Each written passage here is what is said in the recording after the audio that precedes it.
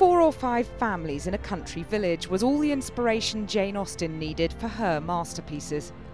For novelist Sarah Waters, the boundaries of her latest novel extend little beyond a single household in South London. But while the landscape she depicts may be deliberately restricted, the preoccupations of her characters' lives are anything but parochial. I know all I need to know about you. You're like me. You showed it last night, and you're showing it now. You hunger for your own sex. You hunger for the pleasure I can give you, don't you? Yes. Waters is best known for what she herself has called her lesbo Victorian romps, like Tipping the Velvet, which was turned into a TV series. But after setting three novels in the Victorian era and two in the 1940s, her most recent turns to the period immediately after the First World War for literary inspiration. Almost the moment she left the tram, she was approached by another ex soldier, this one more ragged than the last. He limped along beside her, holding out a canvas bag, telling her the details of his military record. In The Paying Guests, Frances and her mother, bereft by the war, are forced to make ends meet by taking in lodgers at their house in Champion Hill. The novel's heroine finds herself drawn to one of them, a married woman. There had been no declaration, only a glance, a pressing of fingers.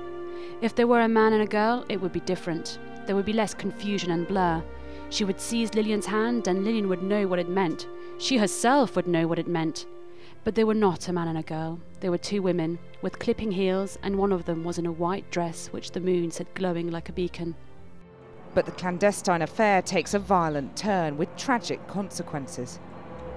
I spoke to Sarah Waters at the bandstand in the South London Park where her two central characters first kindled their romance. I started by asking her why she'd chosen the 1920s as her historical backdrop.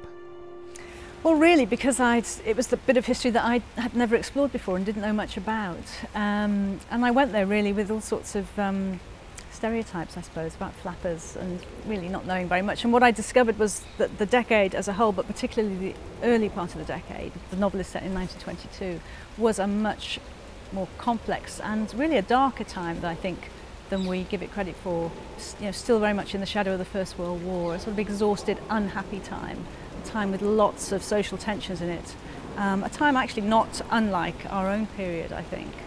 There is a party in the book, but there aren't any flappers at the party, are there? No, there aren't. Um, the party takes place in Clapham in a very, very ordinary house. And one of the things I wanted to do with the novel was to get beyond um, the surface of the stories we have about the 1920s that tend to be rather high society stories and to look for more modest stories, more suburban stories for working class life for lower middle class life. Well, you've described some of your previous novels as lesbo Victorian romps. So, how do you describe this one?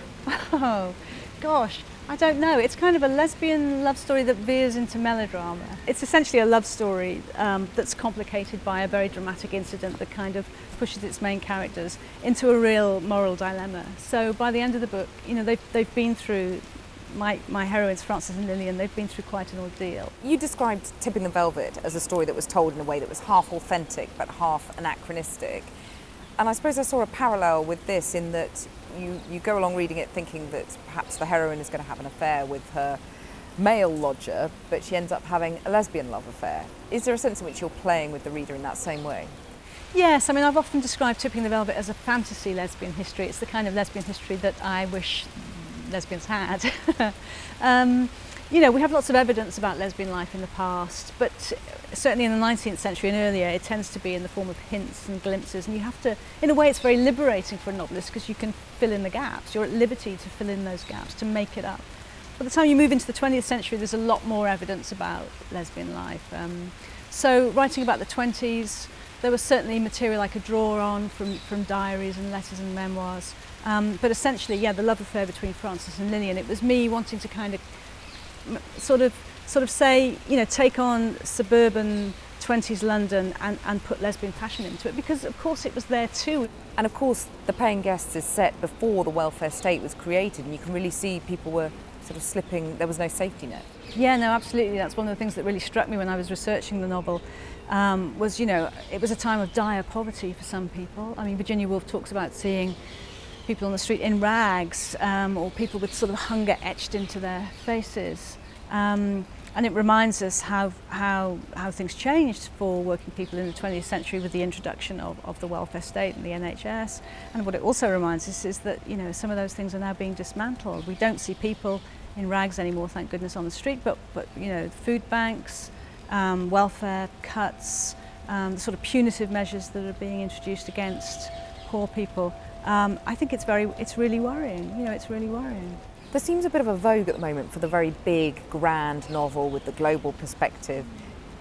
The paying guests focus on a very particular area of London, a very particular culture. Is that something that you think you're sort of slightly um, against the trend? Well, I think we live in what feels like a very urgent historical moment, don't we? You know, a time of threats, climate change, terrorism, international tensions. So it's not surprising that big books that seem to be addressing and exploring that moment are in demand and are popular. But actually, one of the things that startled me about the early 20s um, was how, how similar that period was to our period now. You know, it had come out of the, the First World War, the Paris Peace Conference showed what a sort of tangle Europe and, and the Middle East and elsewhere were, a tangle of um, political interests and resentments and grudges. Um, opening the paper in 1922, you would have just seen one sort of conflict after another, and the world did feel very dangerous and very newly unsafe. Sarah Waters, thank you very much. Thank you.